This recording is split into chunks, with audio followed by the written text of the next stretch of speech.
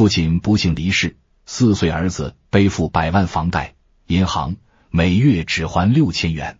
二零二年的一天，单亲女士韩某突然接到了一通来自银行的电话，银行在电话内通知韩女士去处理已故前夫付某遗留的房子财产问题。有人可能会问，既然已经是前夫，银行怎么会通知韩某来处理付某的财产问题呢？原来付某的父母双亲已经去世，身边没有更近的直系亲属了，所以他的遗产第一顺位继承人就只有他的子嗣了。但他万万没有想到，天上从不会有掉馅饼的好事。紧跟在房产继承后面的，不是突如其来的金钱，而是巨额的债务。这年头，连四岁的娃都要还房贷了，这究竟是怎么回事？探秘案件真相，尽在《案变风云》。韩某与付某离婚三年，婚内曾育有一子，所以付某意外去世，没有遗嘱的情况下，小付就是付某唯一的财产继承人。小付在父母离婚后，其实是被判给了父亲，但二零二二年年初，付某意外去世，小付不得不在大人的带领下，到了亲妈韩某的身边。已经有了新家庭的韩某，把小付当成了累赘，并不愿意抚养。但在父亲已逝的情况下，韩某不抚养小付将会构成遗弃罪，承担法律责任，所以韩某只能捏着鼻子认了。此刻听闻儿子能够继承付某的房产，韩某十分兴奋，这就代表他们一直租房住的生活将要结束，即将正式拥有属于自己的房子了。他十分庆幸自己抚养小付的决定，与付某离婚。早已任何没有感情的韩某，此刻唯一有的情绪就是儿子即将继承房产的喜悦之感。他丝毫没有多想，韩某很快就带着儿子小付去办理了继承房产的手续，收拾收拾行李，住进了继承的房子中。但快乐的日子没过几天，韩某就接到了银行的催债的电话。原来付某的房贷并未还清，只是付了首付，才刚开始还了几个月的贷款，就出了意外，后面还剩百万的贷款，需要继承房产的小付接力来还清。作为小付的监护人。韩某是需要替代小付来还这笔债务的。银行告诉韩某，其实房贷不高，每个月只需要还六千元而已。可六千对于普通家庭来说，已经是很难拿出的数额。这话真的无异于何不食肉糜，并且韩某仔细核算过后发现，六千元的贷款中有三千是银行的利息，利息甚至和本金都能对半分。可韩某的工作薪资并不高。一个月只有两千元左右，六千的贷款对他来说与天价无异。就算每个月不吃不喝，韩某也根本还不起房贷。银行工作人员催说，小付已经成功继承房子，如果断供时间过长，可能将会被起诉，承担法律责任。严重情况可能会被银行列为失信人员，造成重大损失。不仅如此，贷款逾期之后，罚息会越涨越多。如滚雪球一般越变越大，韩某被这天降的坏消息砸得晕头转向，后悔没有弄清财产问题，就火速带小夫继承了房产，导致现在进退两难，生活也因此变得艰难。让四岁的孩子还房贷，怎么听都觉得荒诞怪异的事情，却是符合法律规定的，因为法律要求就是遗产和债务是捆绑继承的，权利和义务永远都是相统一的。没有人能够只享受权利而不履行义务。韩某无奈至极，想寻求社会帮助，花大价钱联系了一个媒体，带着媒体工作人员一起来到了银行。即便韩某怎么去跟银行解释自己与小付没有能力还债，银行都没有松口。银行工作人员称这是公司的制度，是法律的要求。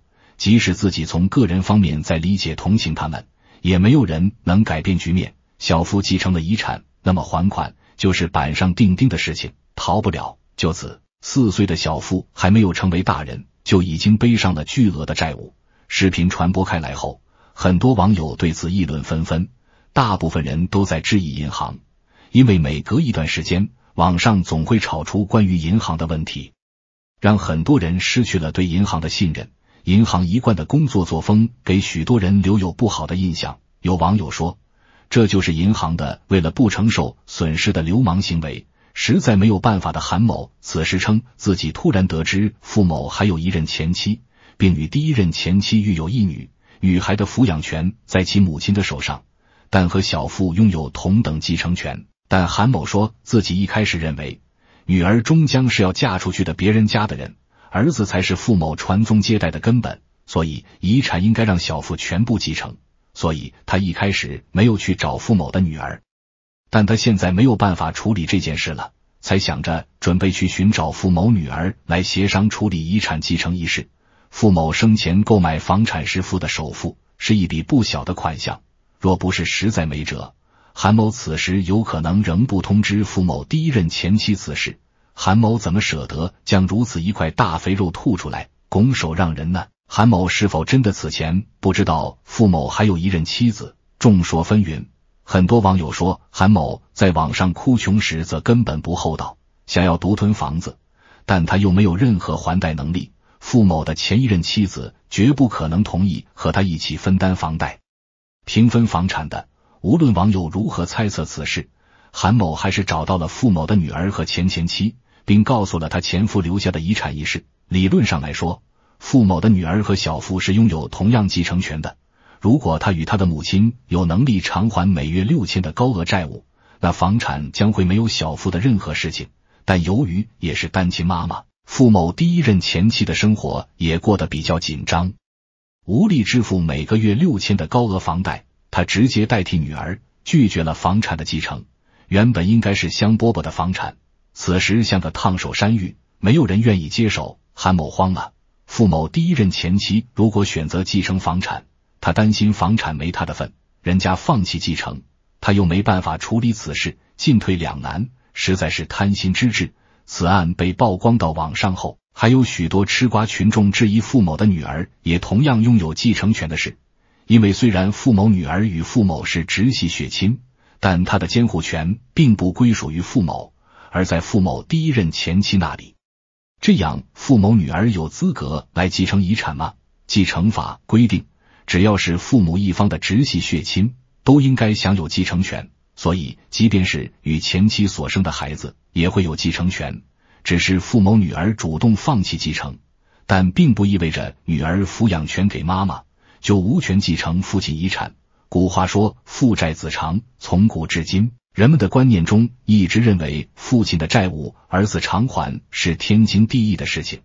但是孩子是否有能力偿还债务，亦或出现其他情况，都无人能预料。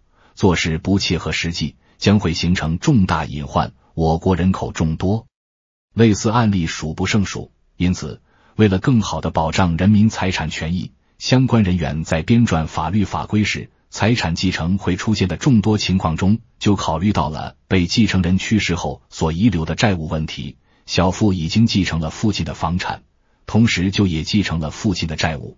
只有偿还清债务之后，剩下的部分才是小富能够分得的财产。那韩某和小富真的没有办法，只能因为一时选择错误，彻底步入水深火热的生活吗？其实无法承担房贷的小富，只要选择放弃房产继承，就不需要再承担房贷。有网友为小富出谋划策：如果房子的商品价值持续上升，孩子想要放弃房子的继承权是一件很容易的事情，因为会有人从中得利。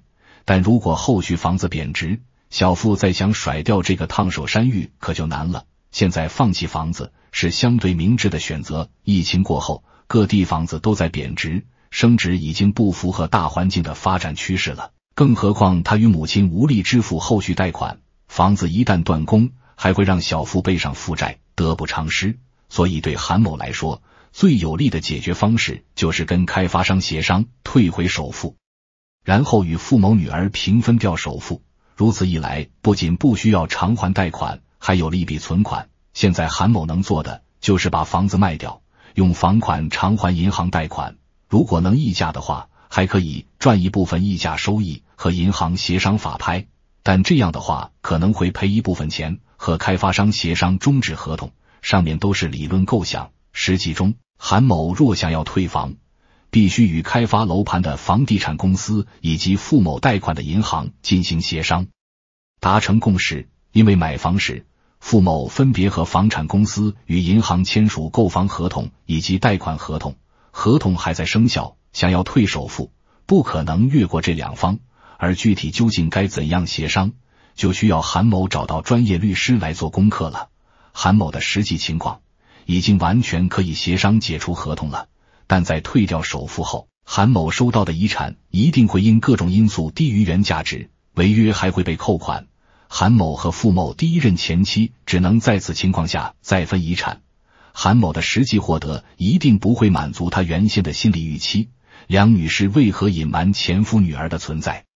本案中，梁女士一直声称只有自己的儿子在被银行催促每月还房贷，只字不提前夫女儿的存在。民法典第一千一百二十七条规定，遗产按照下列顺序继承：一、第一顺序配偶、子女、父母；二、第二顺序兄弟姐妹、祖父母、外祖父母。在继承开始时，遗产的继承应以被继承的法定顺序为准。如果没有第一个继承人，则由第二个继承人继承。房子是付某与梁女士离婚后自己贷款所买，因此有权继承房产、偿还房贷的只有其直系血亲，也就是傅某义和他与第一任妻子的女儿。直到记者追问，梁女士才打电话联系前夫的女儿。其女表示，在这通电话之前，她并不知情父亲曾贷款买房。如果梁女士是在其女不知情的情况下申请向银行退首付，那么她的行为可以构成隐瞒继承人的情节。隐瞒继承人指的是遗产继承案件中隐瞒被继承人还有其他继承人的事实，导致案件的处理遗漏了必要当事人，最终酿成错案，甚至造成难以弥补的损失。对于隐瞒继承人的行为人，法院将按照妨碍民事诉讼的行为给予处罚，根据情节轻重予以罚款、拘留。构成犯罪的，依法追究刑事责任。至于他为何要隐瞒前夫女儿的存在，答案显而易见：房贷不论还与不还，其最后所落得的钱都只会在傅某义的身上。梁女士作为傅某义的监护人，同样有权代为管理财产。由此可见。多一个人和自己的儿子争夺房产，梁女士就会少一半的钱。房子的继承和贷款必须由傅某义继承吗？中华人民共和国民法典第一千一百六十一条规定，继承人以所得遗产实际价值为限，清偿被继承人依法应当缴纳的税款和债务。继承人放弃继承的，对被继承人依法应当缴纳的税款和债务，可以不负清偿责任。首先，该案中。有两名继承人，这样首先需要划定该房子究竟由谁继承，公证敌，确定继承权。